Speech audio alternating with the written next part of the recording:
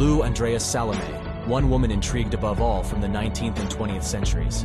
Salome, a woman for whom the greatest intellectual of all times had gone mad, leading the philosopher Nietzsche to insanity, and the father of psychoanalysis, Freud to the verge of insanity, Paul Rée to suicide, and Rilke to a lifelong obsession.